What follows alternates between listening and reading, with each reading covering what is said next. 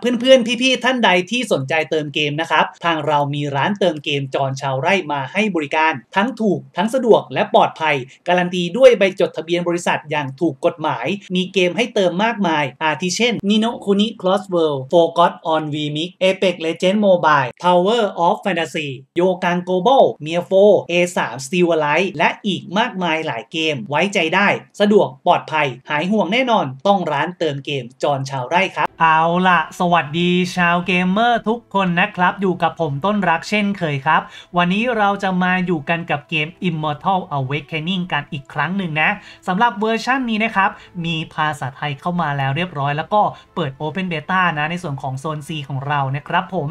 ลิงก์โหลดเนี่ยอยู่ใต้คลิปเลยนะครับ ตัวเกมจะเป็นแนว MMO นั่นเองอะเดี๋ยวเราไปดูบรรยากาศดีกว่าเซิร์ฟเวอร์เนี่ยก็จะมีให้เราเลือกนะตอนนี้เนี่ยมีเซิร์ฟเอเชียนะครับเห็นไหมมีให้เลือกตามนี้นะครับ4เซิร์ฟด้วยกัน ผมจะอยู่ที่เซิร์ฟ HKT4 นะครับเลือกเป็นเอเชียนะถ้าเกิดเลือกเป็นอเมริกาหรือว่ายุโรปเนี่ยมันอาจจะแบบมี ping ขึ้นมาก็ได้นะครับผมโอเค มากดเริ่มเกมเข้าไปเลยนะครับผมนี่ในส่วนของหน้าตรงนี้เนี่ยนะครับจะเป็นหน้าเลือกตัวละครแล้วก็ตัวละครที่เห็นเนี่ยนะครับจะเป็นตัวละครที่ผมได้ทำการลองเล่นไป นะครับผมประมาณนี้อ่าสังเกตว่ามันจะมีชุดเซตด้วยนะครับในส่วนของตัวละครต่างๆนะแต่ละสายเนาะเนี่ยเห็นไหมเซตชุดแบบนี้นะครับนี่เซตชุดเท่ๆครับผมนี่ฮะอ่าเป็นแบบว่าให้เรามาลองใส่ได้นะครับ ตัวเกมเนี้ยจะมีระบบปีกด้วยนะครับเอ่อถ้าจะพูดถึงมุมมองตัวเกมเนี่ยผมมองว่าน่าจะคล้ายๆพวกเกมมิวอะไรประมาณนั้นนะ นะครับผมอ่าเดี๋ยวค่อยไปดูแล้วกันนะครับ แล้วก็คล้ายๆกับมุมมองเกม Diablo ด้วยนะครับ แต่ Diablo มันน่าจะน่าเล่นกว่านะครับ โอเค มากดบวกตรงนี้มานะครับ นี่มันจะมีสายอาชีพให้เราเลือกเล่นนะ ตอนนี้ 4 สายด้วยกันนะครับ ก็เริ่มตั้งแต่นี่เลยฮะ หมอผีนั่นเองครับผม อ่า มีตัวอย่าง skill ให้เราดูนะครับ ตรงนี้ เห็นไหมอ่า เราเลือกดูได้นะครับว่า skill เขาเนี่ยใช้แบบไหนยังไงบ้างนะครับ โอเค ประมาณนี้นะฮะ เนี่ย ก็ดูได้เนาะ อะ ต่อมาครับนักล่าปีศาจครับผมนี่สังเกตนะครับว่าตัวเกมเนี่ยเขาจะล็อกเพศไว้นะครับอ่าแล้วก็มีข้อมูล skill ตรงนี้นะก็ลองมาดูแล้วกันนะครับผมอะสายต่อไปครับนักเวทครับผมนี่สาวสวยสาวสวยโอเคนี่ครับผม skill ก็เลือกเลือกดูเอาแล้วกันนะนี่ครับผมจะให้ดูแบบคร่าวๆนะครับโอเคต่อมาครับคนเถื่อนนะครับ ชื่ออาชีพแหมนะฮะ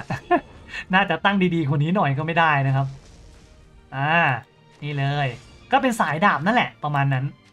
โอเค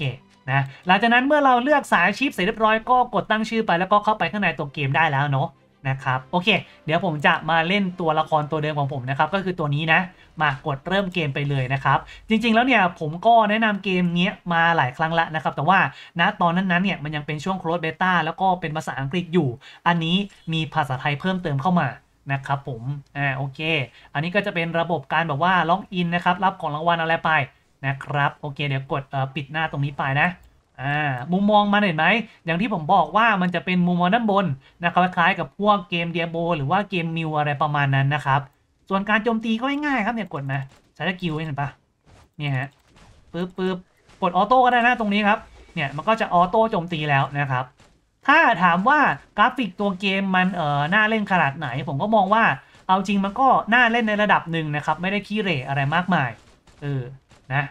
โอเค ประมาณนี้นะครับ ส่วนเมนูต่างๆนะครับที่เราเห็นเนี่ยมันก็จะเป็นเมนูแบบเอ่อพวกเกมจีนทั่วไปอะแหละนะครับ ก็แล้วแต่คนชอบนะ เออถ้าเกิดอยากโหลดก็ลิงก์โหลดก็อยู่ใต้คลิปนั่นแหละนะครับทีนี้มันจะมี quest เห็นไหมอยู่ตรงด้านซ้ายของจอครับ แล้วก็กดติ๊กไป แล้วมันก็จะรับ quest อัตโนมัติให้นะครับณตรงนี้เนี่ยเขาบอกว่าให้เรามาที่ quest รายวันโอเค แล้วก็กดมาอะไปจัดการบอสโลกใช่ป่ะไปเลยครับผมนี่ครับมาแล้วบอสโลกอยู่ตรงนี้เลยเว้ยนี่ครับชิวๆไปฮะช่วงแรกๆนะครับ ก็จะเล่นสบายๆหน่อยนะคลิปนี้ก็เอาบรรยากาศแบบช่วงเริ่มต้นคร่าวๆมาให้ดูนะครับต้องบอกว่าตัวเกมเนี้ย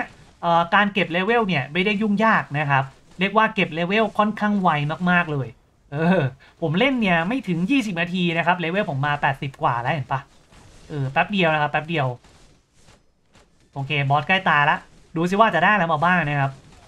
พวกชุดอะไรต่างๆเนี่ย item มัน drop มานะครับเวลาเราสวมใส่เนี่ยมันก็จะได้มาแบบ คือตัวชุดเนี่ยมันจะออกมาเลยนะครับ อันนี้คือเราได้ของมาเนาะจากบอสนะครับ เราลองเอามาวางขายดูแล้วกันปุ๊บนี่ฮะ อ่าจะเป็นการวางขายนะครับ อุ้ยมีคนซื้อแล้วหรอ วางขายเสร็จปุ๊บ อ๋อตรงนี้นี่ไง มีคนซื้อไปแล้วครับ โคตรไว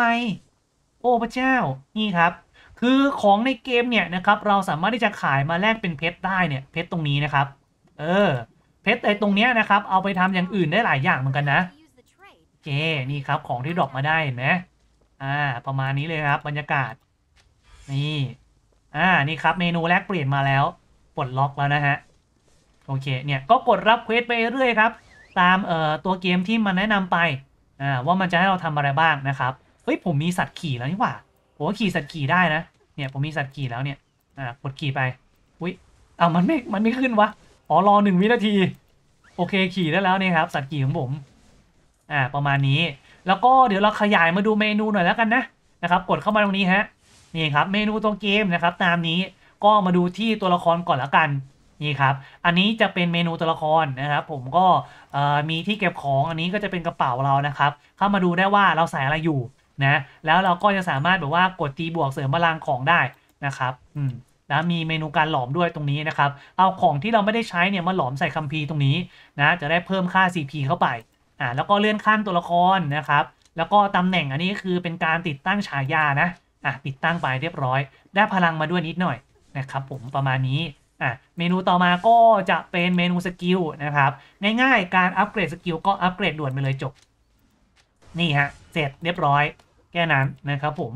ต่อมาครับก็จะเป็นเมนูการหลอมนะครับ ก็เหมือนเมื่อกี้แหละนะครับที่ผมพาเข้าไปดู เราสามารถที่จะหลอมทีบวกพวกอาวุธต่างๆ ได้นะครับ อุปกรณ์เหล่านี้ที่เราสวมใส่อยู่นี่ฮะเสริมพลังจัดไปนี่ครับ เรียบร้อย ประมาณนี้บวก1บวก2อะไรเท่าไหร่ก็ว่ากันไป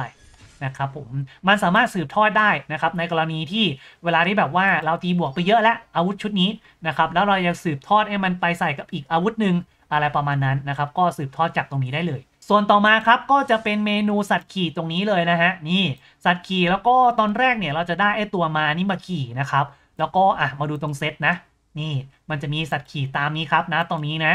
อ่าก็เอ่อลองดูแล้วกันนะว่ามันจะได้จากไหนมาบ้างนะครับ นี่ฮะเราสามารถกดแลกตรงนี้ได้ แล้วมันก็จะบอกนะครับว่าแหล่งที่มาเนี่ยได้มาจากไหนเนี่ยอย่างเช่นอันนี้ครับได้มาจากอีเวนต์เขาก็จะบอกชัดเจนเลยนะฮะเออโอเคมีอีกปะอ่ามีอีกนะ ยังไม่หมดนะครับ นี่มังกรมีช้างด้วยโอเคนะครับ นี่ประมาณนี้หมดยังโอ้ยังมีอีกเยอะเลยนะเนี่ยอ่านี่ครับผม ส่วนเมนูอื่นๆนะครับนะตอนนี้ก็จะมีสัตว์เลี้ยงมีปีกด้วย อ่าแล้วก็มีเมนู rune นะครับเครื่องรางที่มันยังไม่ได้ปลดล็อกนะครับเมนูกิลก็ปลดล็อกแล้ว เราสามารถที่จะไปสร้างกิลหรือว่าเข้าไปอยู่กิลกับชาวบ้านเขาได้นะครับส่วนนี้จะเป็นเมนูความสำเร็จนี่อ่ามากดรับของรางวัลความสำเร็จได้ ก็จะได้เพชรมาด้วยนะอืมแต่สังเกตนะครับว่ามันจะมีเพชรอยู่ 2 แบบอ่าเพชรสีเหลืองอันนี้เนี่ยเราหาได้จากการทำภารกิจต่างๆ หรือว่าไปขายเทมต่างๆเนาะส่วนเพชรสีฟ้าเนี่ยน่าจะได้จากการเติมเงินนะครับผมเออประมาณนี้ โอเค อันนี้ป้ายอ๋อเราเปลี่ยนป้ายตรงนี้ได้ด้วยนี่นะอ่านี่ครับกดบันทึกเปลี่ยนไปประมาณนี้นะฮะอะมาจัดไปครับทำ quest ต่อนี่ครับจัดการกับพวก monster ต่างๆ อืมตัวเกมรู้สึกว่ามันจะมีโค้ดด้วยมั้งนะครับ แต่ว่าผมยังหาไม่เจอนะ เดี๋ยวถ้าเกิดได้โค้ดมาเดี๋ยวจะเอามาอัปเดตให้อีกทีละกันนะครับเอออันนี้ก็เอามาแบบแนะนำคร่าวๆนะครับผมถ้าเกิดว่ามันผิดพลาดตรงไหนก็ต้องขออภัยด้วยละกัน นะครับผมทีนี้มันจะมีเมนูตรงนี้ด้วยนะครับเห็นไหมอ่ามันจะมีแบบเมนูซื้อเอ่อเติมเงินครั้งแรกนี่ครับอ่าเดี๋ยวเรามาดูนะนี่ครับตรงนี้เติมเงินครั้งแรกได้แล้วบ้างนี่ครับอ่าจะได้ชุดเซตตามนี้แล้วก็ของตามนี้เลยครับก็ค่อนข้างโอเคนะแจกแบบ 3 วันเลยนะครับเนี่ยวันที่ 1 วันที่ 2 นะครับผมอ่าวันที่ 3 ได้อะไรอู้ได้ปีกมาด้วยนะครับประมาณนี้แล้วก็พวกโบนัสต่างๆนะครับก็ลองมาเช็คดู มันจะมีของแจกเราอยู่นะครับ นี่ประมาณนี้เลยฮะ แล้วก็สามารถลงดันเจียนได้นะครับนี่ครับลงดันเจียนไปหาของอะไรต่างๆนะครับมีหอคอยนะครับให้เราลงยิ่งไต่สูงเท่าไหร่นะครับก็จะได้ของรางวัลมากขึ้นกว่าเดิมนะครับประมาณนี้อ่าแล้วก็มีแบบว่านี่ครับมีพาร์ทอันนี้น่าจะเป็นแบบว่าการเติมพาร์ทเนี่ยอ่าเนี่ยฮะด้านบนก็จะเป็นสายฟรีเนาะด้านล่างก็จะเป็นสายเติมโอ้โหสายเติมได้ของดีกว่าเยอะมากเลยมีชุดด้วยนี่ไงอ่าชุดอย่างเท่นะครับผม อืม